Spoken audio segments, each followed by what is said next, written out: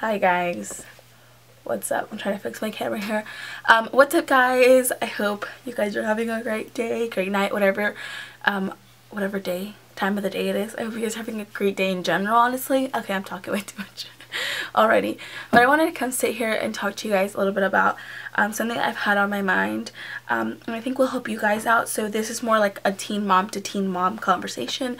Or honestly, like I like I always say, this can relate to any mom but since I am a teen mom, I feel like I relate better to other teen moms, if that makes any sense.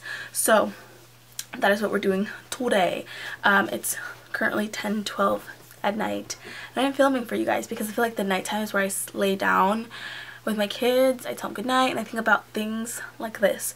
So the topic that we'll be talking about is how I was able to get over my relationship. I know a lot of you might have the same questions. You might just be barely getting into um, a relationship where you guys are having a baby. You guys are you guys are teenagers. You're trying to figure it out. And so first I'm going to tell you guys a little bit about my relationship, uh, my previous relationship, and how it ended up. And then I will tell you guys what I'm going to talk about today. So I was with their dad for about six years. Um, and I was like I was like, what did I say? Like, I was in love with him. Like, I would do anything for him. And because my mentality was, I have to stay with him. I don't want to be like the statistics.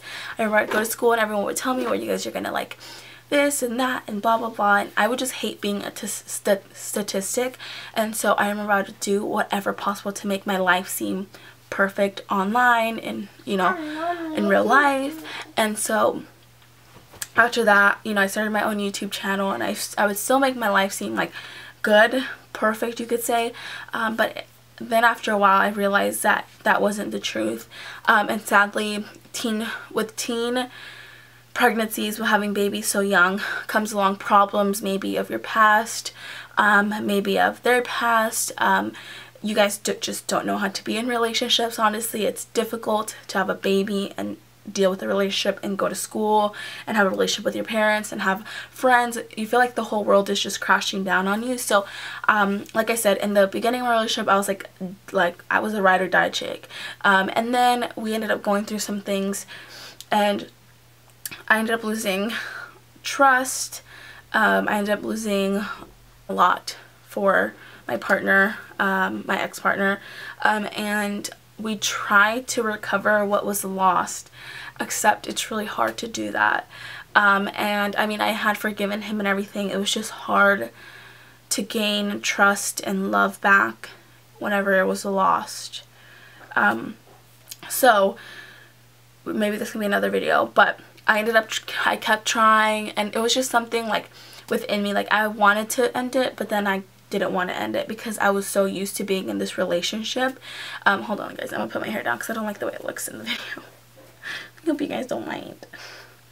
It was difficult for me because I was so used to being in this relationship and so after I grew up a little bit because I mean I had my kids so young you guys I had um, Anthony over was like 13 and then I had Leah and I was 16 it was just like this crazy craziness um, that I get judged for a lot. But um, after I grew up, because obviously you grow up in the time that, hold on, why is this like this? You, you guys both grow up or um, you guys start growing whenever you guys are in a relationship because you're going to stay the same way that you guys were. A lot happens while you guys are growing up and it might be at the difficult part or whatever, but um, you start growing and you start changing and everything starts changing the circumstances the situations are changing. The turning point for my relationship or the turning point that really opened my eyes was whenever I had Leah.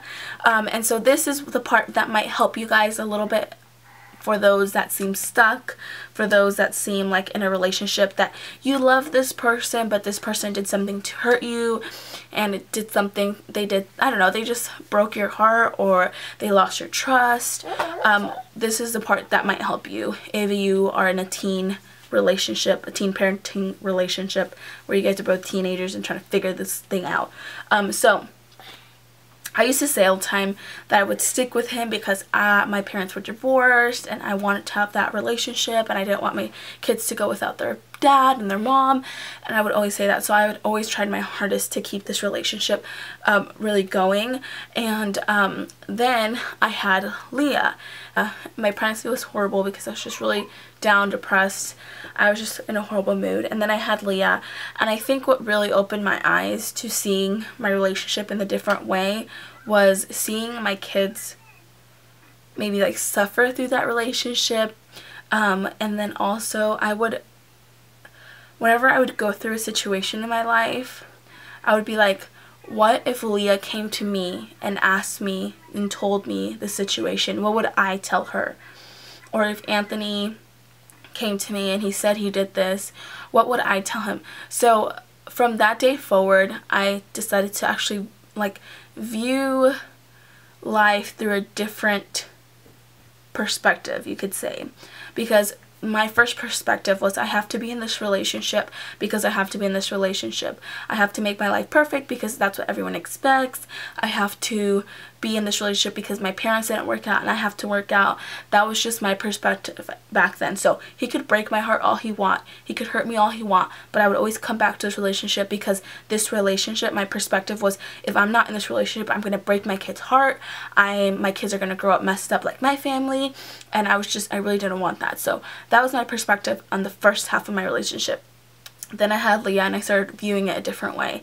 And then I started saying I don't want my daughter around um, you know, people like this that I was that I had her involved in. I don't want my children around this. It, they were just bad influences, and um, I, you know, I need to change. So I decided to move back. And then it was, it has never been the same after that. Um, so I have just not been the same person after that. And it's really hard to deal with that. Like, I went through my brother's death. I went through my other brother going through some really hard things in life. I went through, you know, my mom's heartbreaking. I went through some horrible things so I was just not the same person. And then we started we tried to get back into the relationship because I moved back and then like a year later he moved back um, to where I lived. Um, and then we tried like doing it all over again. Didn't last for very long we were on and off. And then I would just what really changed my viewpoint was um, one time where we were like arguing and it didn't get physical it didn't get like violent but it got to a point where like like it got I don't know how to explain that without it sounding horrible and you guys are like oh my gosh. Um, it got to a point where I was just where we're really angry. And I was like and some things happened and sorry guys I know I hate, I hate when YouTubers do this as well because you're like what happened? Um, but you know things happen and I remember I, I sat down that day and I said you, what if Leah came to you and said, Mom, this person did this to me last night and this is how I felt and I just I started thinking about it and I remember just sitting there and crying because what I would tell her was not what I was doing in my life um, and I would be like, you know, Leah, get out of that relationship. It's not healthy for you. Doesn't matter if you guys have two kids. It's not healthy for you. Um, look at your mental state. So I wasn't living what I would tell her. And so, you know, that's just that's just the way I started viewing things. And so that's the way I slowly started getting out of that relationship habit or that relationship that I was just so used to because if I if, I were to tell Leah and Anthony something, it'd be like fall in love, fall in love with somebody that you love because I've been there where you like love somebody but they don't love you or they don't know if they love you and then it's just this complicated thing that nobody knows how to explain except if you've been in it. So, I mean, if I were sitting in front of Leah and Anthony whenever they're grown up or whenever they're the age of dating or anything, I'd be like, just I want you to find somebody that you truly, truly love, you truly, truly take care of, and that you truly work hard for that person.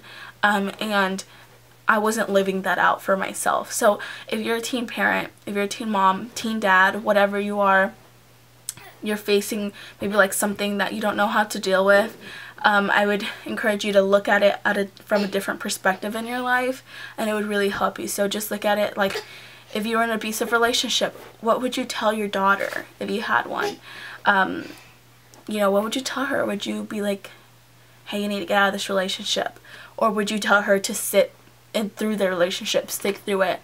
And what you really truly have to say and what you would say defines who you really are because I know for me personally I'd be like Leah that's not a healthy relationship with you for you Anthony that's not healthy for you to do it's not a healthy relationship for you to be in um, so I don't know I've just been picturing it like that I picture it more femininely because and more motherly because I am a mother and I have Leah now I definitely know if I were a male if I were a man um, I would view it a different way because um, maybe I would compare myself a lot to Anthony. That's why I don't understand really because um, I say if I'm a mother and I can picture myself like this, um, I could just, like, I would imagine that a father could do that as well.